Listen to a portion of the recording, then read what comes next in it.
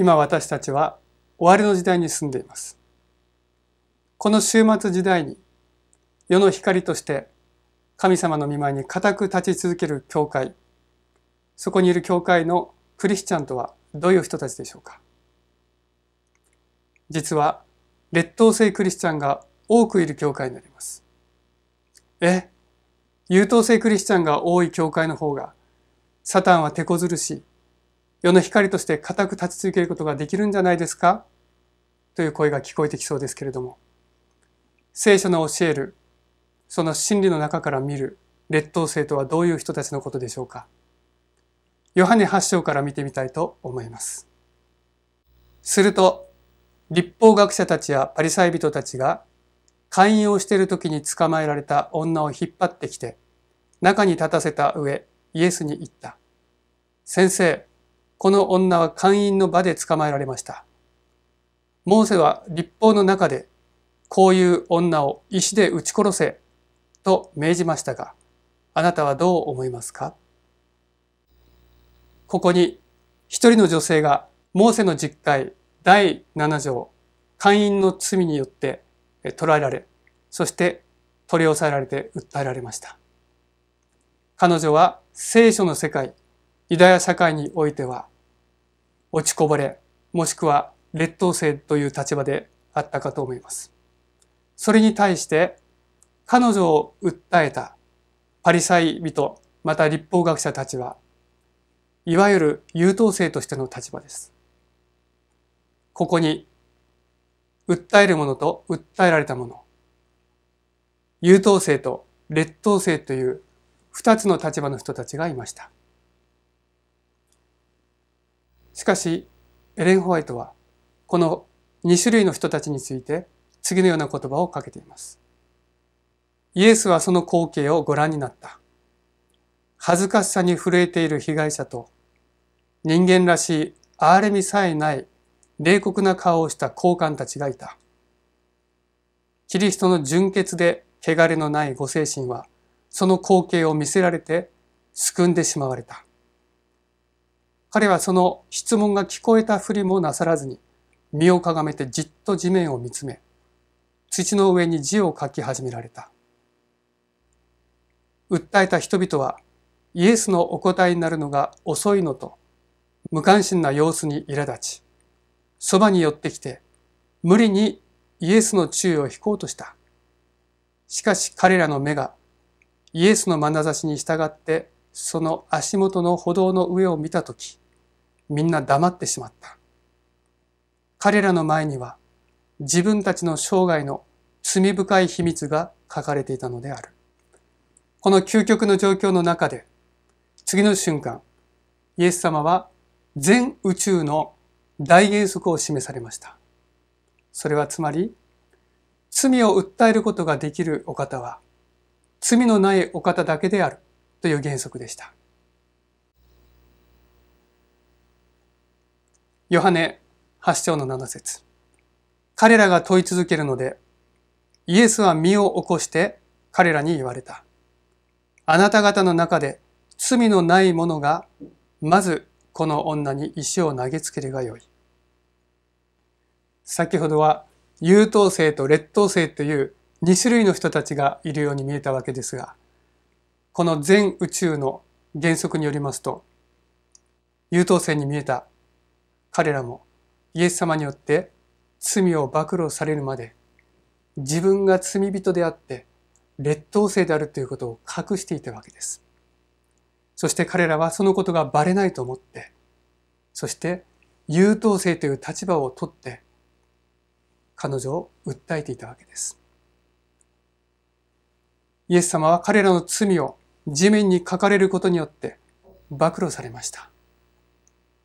キリストはモーセの立法を退けず、またローマの権力を犯しもなさらなかった。訴えた人たちは敗北した。今や清く見せかけていた衣は剥がれ、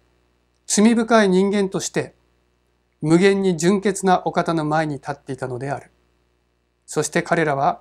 自分の生涯の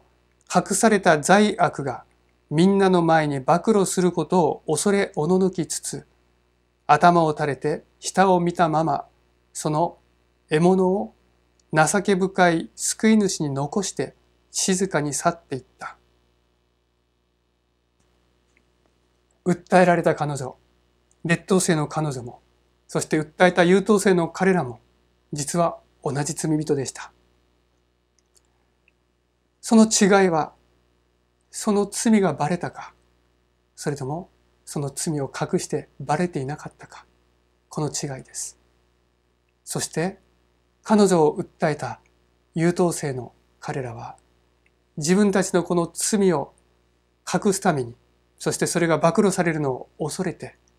その場を立ち去ったのでした。これを聞くと、彼らは年寄りから始めて、一人一人出て行き、ついにイエスだけになり、女は中にいたまま残された。優等生として彼女の罪を訴える立場を取った者たちは、一人残らずその場を去りました。しかし、彼女の前にはまだ唯一彼女の罪を訴えることがおできになられるイエス様がそこにおられました。果たしてイエス様は彼女を訴えるでしょうか？そこでイエスは身を起こして女に言われた。女よ、みんなはどこにいるかあなたを罰するものはなかったのかと尋ねられた。女が、主よ、誰もございません。と答えたので、イエスは、私もあなたを罰しない。お帰りなさい。今後はもう罪を犯さないように。ここで唯一彼女を訴えることがおできになられる立場のイエス様は、このように私もあなたを罰しないという言葉を彼女に投げかけられました。これこそ聖書の中で一貫して教えられている愛と恵みの憐れみ深い神様の精神が現れています。神はなんと憐れみ深いお方なのでしょうか。彼女は自分の罪を認め、自分が劣等生であることを認めていました。しかも現行犯逮捕でしたので、彼女は何の言い訳もできませんでした。ただただ自分の運命を目の前にあるこの状況に委ねて、そしてイエス様の前に立ち続けることしかできませんでした。しかしそれに対して優等生として彼女を訴えた者たちはその場を立ち去りました。彼らはその罪を持ったままその場から逃げ去ったのでした。このように劣等生クリスチャンと優等生クリスチャンを比較したときに2種類の罪人の姿が見えてきます。2種類の罪人についてこの表の左側の会員の女これ劣等生という立場になります。右の方が立法学者パリサイ人たち優等生という立場になります。この二つを比較しながら考えてみたいと思います。まず、えー、これらの状況を比較したときに、えー、劣等生の方は罪を犯したことがバレた。そして、えー、訴えられたものという立場です。罪を犯してそれがバレてますので、えー、性質的には罪を犯している劣等生という立場になります。そして今訴えられてますので、その罪を認めて、そしてその場に立ち続けたという現状があります。その結果、イエス様は、私はあなたを罰しないという言葉によって、これは許しの宣言になります。このように、罪を訴えることができる立場の唯一の方が、私もあなたを罰しないという宣言をされるわけですので、この大原則によれば、この罪の創始者である、もはやサタンですら彼女を訴えることができない、そのような結果になります。一方、優等生の方を見てみましょう。状況。罪を隠していてバレていない。どういう立場をとっているか。優等生として訴えるものという立場をとっています。性質について彼らは優等生という立場を取りましたが、しかし実際は罪を犯している劣等生という性質があります。そして現状、彼らは罪を隠していてそこから逃げ出しました。その結果、罪は本人に残されたままなので、常にサタンに訴えられる、そのような立場になります。ここで一つのことに気がつきます。それは、私もあなたを罰しないというこの許しの宣言を聞くことができたのは、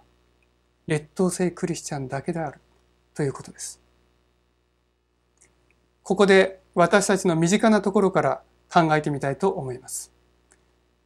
一般的にこの優等生クリスチャンは劣等生クリスチャンに対してこのように言わないでしょうか。あの人はなんと罪深いんでしょうか。私はあんな罪絶対に犯さないんだけどね。しかし、聖書はこのように言います。あなたもあの人と同じ罪人ですよ。この優等生クリスチャンは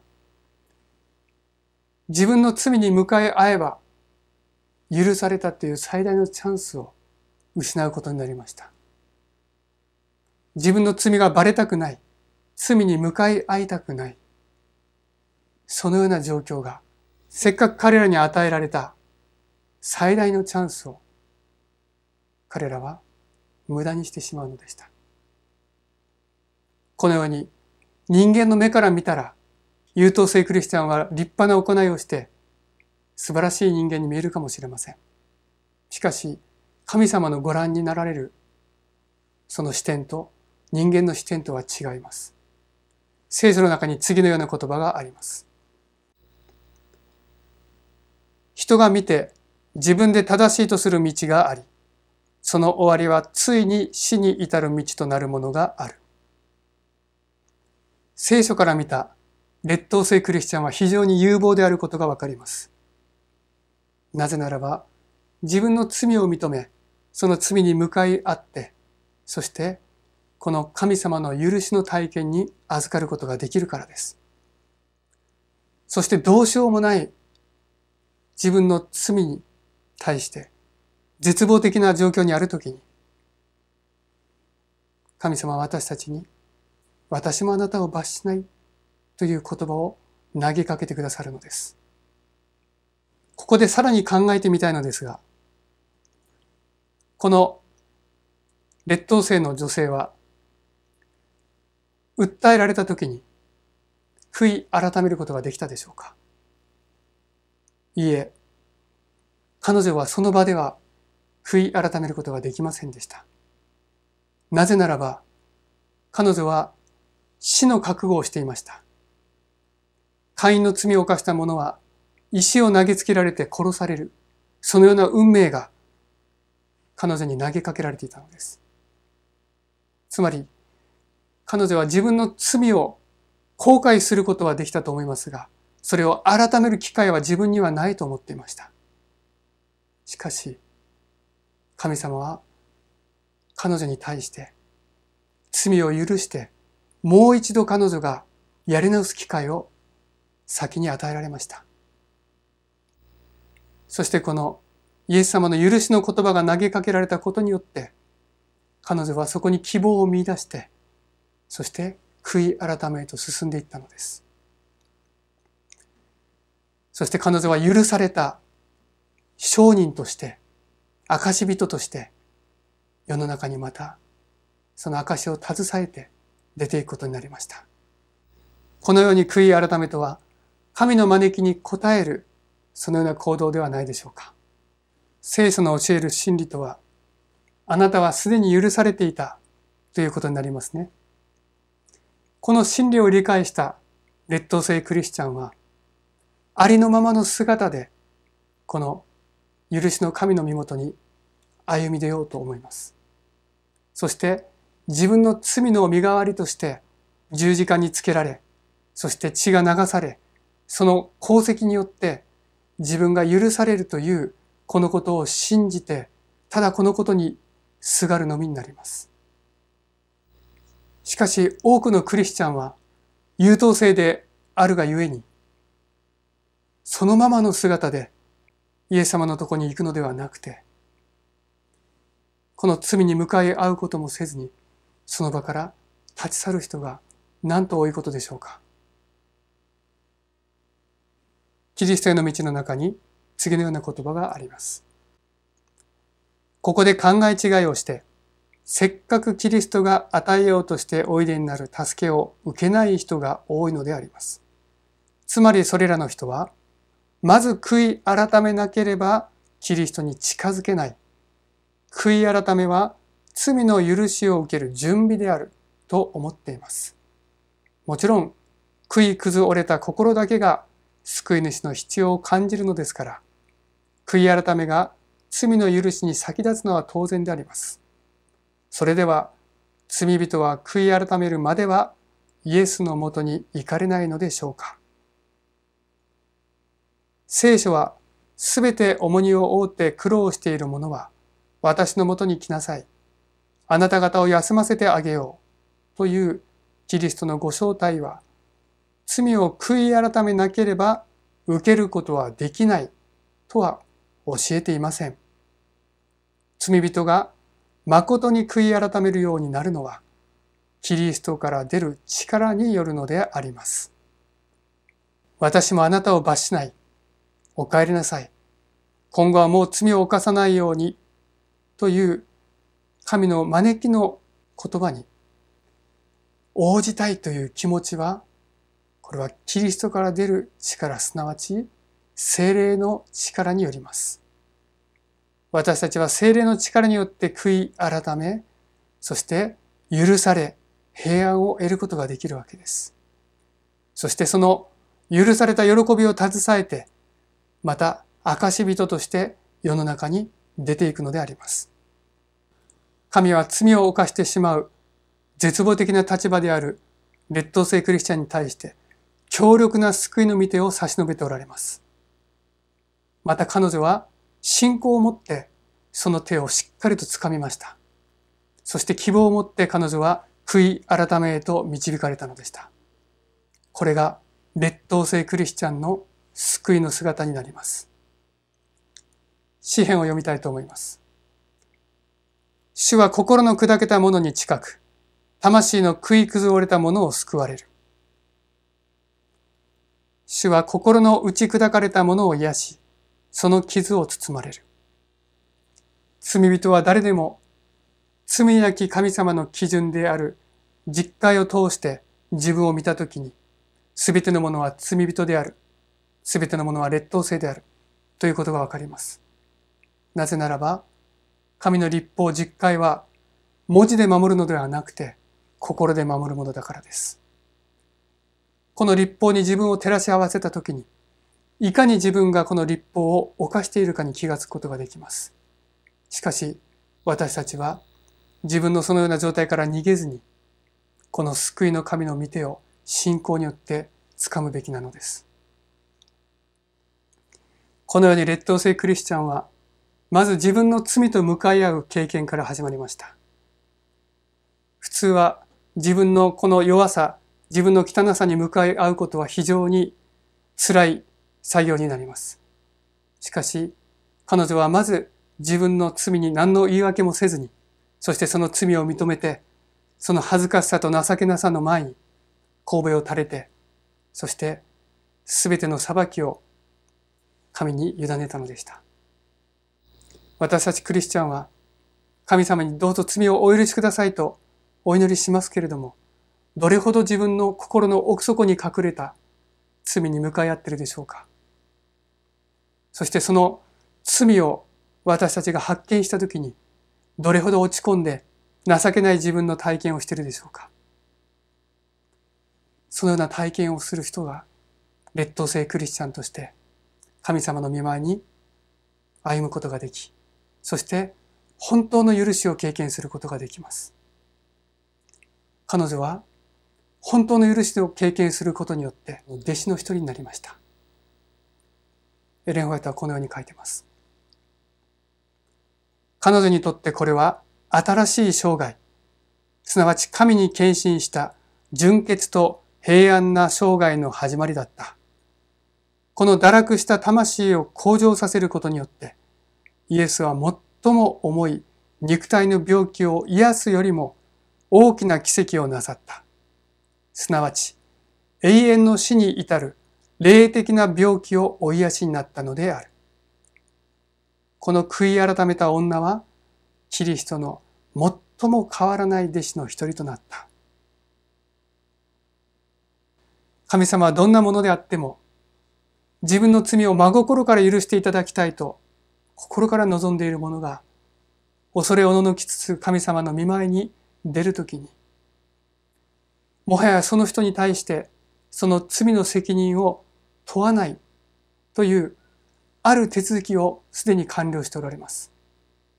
それが父なる神様と御子イエス・キリストの契約になります。御子イエス・キリストの十字架は私たちの罪の身代わりとしてそのご自分の命をもってその代価を支払われたそのような功績になります。そして流された血潮によってこの契約書には許しの宣言がなされているのです。イエスはどの魂の事情もご存知である。罪人の罪が重ければ重いだけ救い主を必要とするのである。キリストの神聖な愛と同情心は敵の罠にかかって最も望みのない状態になったものにまず向けられる。キリストはご自分の地で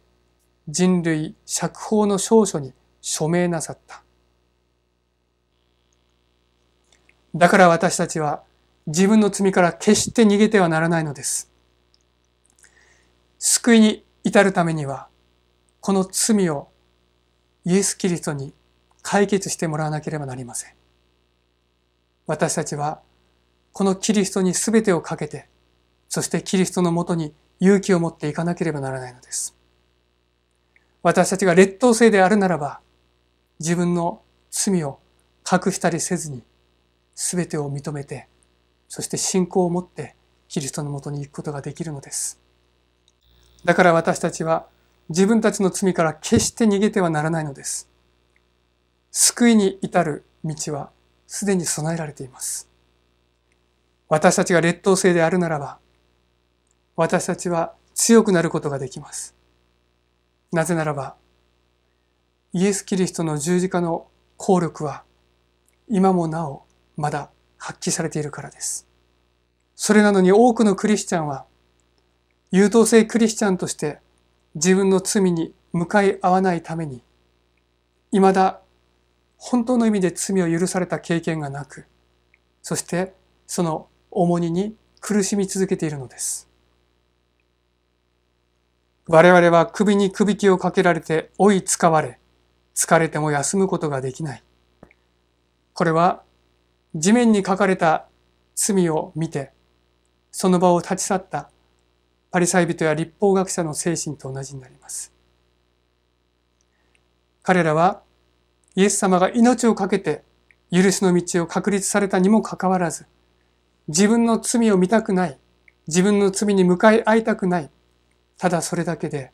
その功績を自分に適用しないで、そこを立ち去ってしまったのでした。最後にとても重要なところを考えたいと思います。それは、イエス様がこの女性に対して、私もあなたを罰しない。お帰りなさい。今後はもう罪を犯さないように、とおっしゃられたことです。これは今後二度と罪を犯さないために、あなたはどこかで修行してきなさい。難行苦行しなさい。そのような勧めになるでしょうか。私たちの決心など、無に等しいことを皆さんはご存知でしょうか。私は少なくとも自分自身を信じていません。いつ私は瞬間的に神様を拒み、また神様を裏切るかわからない。本当にそのような自分が怖いのです。そして神様に対してこのような自分が情けなく、そして非常に申し訳ない思いでいっぱいになります。しかし、神様の愛の深さの方が私の罪の深さよりも深いことを私は信じています。だからこそ、私は劣等生クリスチャンとして、神様の見舞いに悔い改め続けることを諦めたくありません。イエス様が十字架によって私の罪の身代わりとして、その流された血潮によって救いの万全の道が確立されていることを私は信じています。そして、そのことを信仰によって掴んでいますので、私は自分の罪に向かい合う勇気を神様からいただいています。今日、彼は憐れみの座に立って、その助けを求める人々の祈りを神に捧げておられる。キリストは悔いて泣く者を一人として退けるようなことをなさらない。許しと回復を求めて、主のもとに来るすべてのものを惜しみなく許してくださる。キリストは知っておられることを全部人にはお告げにならないが、恐れる魂に勇気を持つようにお命じになる。望む者は神の力をつかみ、キリストと和らぐことができ、主もまた彼と和らげられるのである。イエスは酒どころを求めてくる魂を告発と口論から救ってくださる。人間も悪天使もこれらの魂を非難することができない。キリストは神であり、また人であるご自分の性質に彼らを結合させてくださる。その人々は神の御座から出る光の中に立ち、罪を負う偉大なお方の側に立つのである。このように、劣等生クリスチャンであることを認める者は、サタンにとって最も厄介なクリスチャンになります。なぜならば、彼らはイエス・キリストの十字架の功績によって許され、そして作り変えられて、本物の優等生クリスチャンへと進んでいくからです。そして最終的には、本当の優等生のクリスチャンになることができるのです。聖書には次のような約束があります。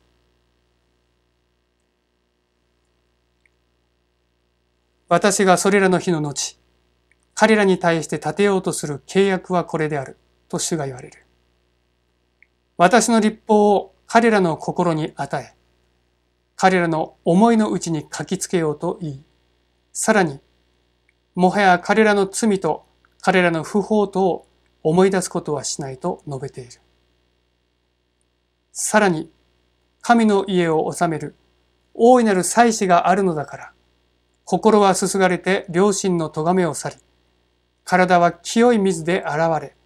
真心をもって信仰の確信に満たされつつ、見舞いに近づこうではないか。まずは一人でも多くの方が、劣等生クリスチャンとしての自覚に目覚め、許しの神イエス・キリストと出会うことを神様は望んでおられます。そしてイエス様の今後はもう罪を犯さないように、とのお言葉に従っていった。劣等生クリスチャン、マグダラのマリアのように、許され、そして清められた勝利の証を携えて、この暗い終末時代に固く立ち続ける本物の優等生クリスチャンとしての道を皆さんとご一緒に歩んでいきたいと思います。それでは一言お祈りをさせていただきます。愛するご在天のお父様、今日は、劣等生クリスチャンの勧めと題してお話をさせていただきました。私たちは本当の意味で自分の罪に向かい合い、また自分の罪と取っ組み合った時に、劣等生クリスチャンとしてあなた様の見舞いに出ることができます。しかし、そのような私たちに対して、あなた様が投げかけてくださった言葉、それは、私もあなたを罰しない。さあ、お帰りなさい。今後はもう罪を犯さないように、との許しと励ましの言葉でした。私たちには、記憶正しく歩む力はありませんけれども、しかし、あなた様の十字架の功績によって、私たちは許され、そして作り変えられ、清められるという、あなた様の約束を信じたいと思います。どうぞ神様、私たち劣等生クリスチャンが本物の優等生クリスチャンとしての道を歩むことができますように、どうぞ聖霊様のお導きをお与えくださるようにお願いいたします。この祈りを感謝して、救い主イエス・キリストのお名前を通して、見舞いにお捧げいたします。アーメン。